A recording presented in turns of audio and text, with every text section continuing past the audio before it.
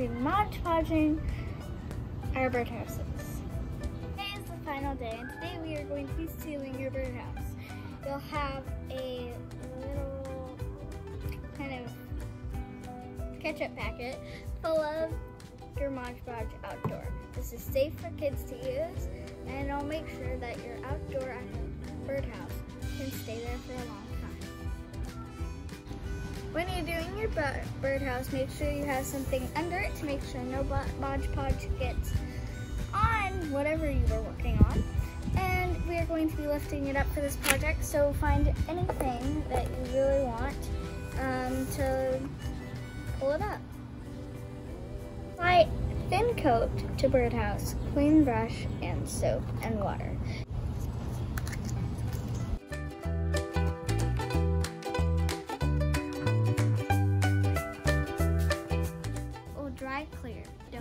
Don't worry.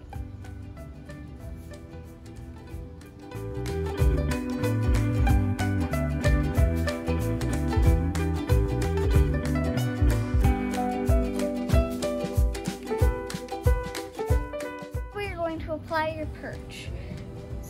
Twist it in a small hole under this thing and then give it a few knocks with a hammer.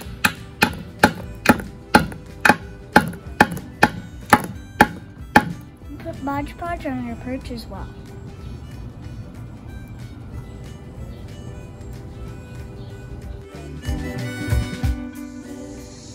When the Mod Podge dries, it's clear, sticky, very sticky, but still very clear.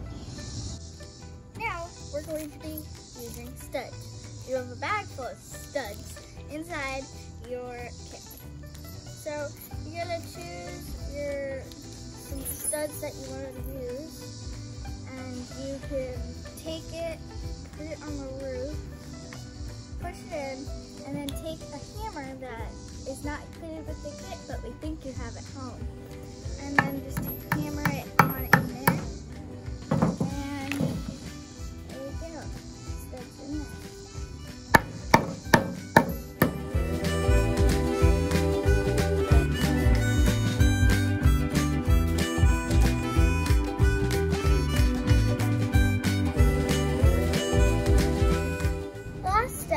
couple of days later. Make sure that your birdhouse is completely dry before you start the step.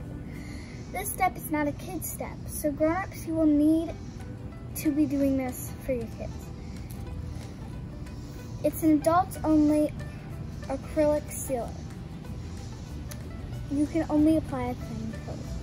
Thank you. Hello everybody. I am so excited about this birdhouse. Isn't it beautiful?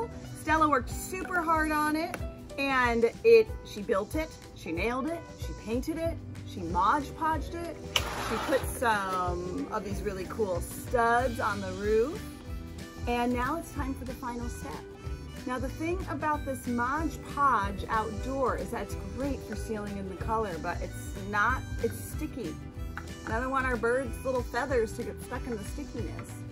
So Mod Podge recommends that we put on an acrylic sealer about three to four days after uh, the birdhouse Mod Podge has dried. So to put on the acrylic sealer, it's adults only. You should try to do it outside so you have uh, a little bit of fresh air around you. You can use the same foam brush uh, that, that uh, they used for the Mod Podge. So easy. I mean, you literally just paint it on. Um, nice thin coat should do the trick. You could do two coats if you want to. I'm gonna paint right over these little um, studs that Stella pop popped on there. And like the Mod Podge, it'll go on, it'll be a little bit white at first, but when it dries, it'll be crystal clear. And that should get rid of all your tackiness. And then you are ready to put your birdhouse out. And I mean, lucky bird, right? That gets to live in this colorful creation.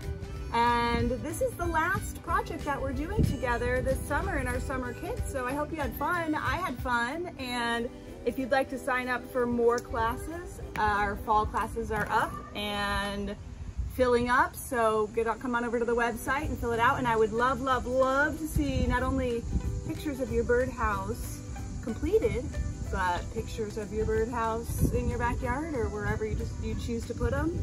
And if you get a special bird that moves in, send me a picture of that too. It's so exciting. All right, thank you so much, everybody. Stay safe, and I'll see you soon.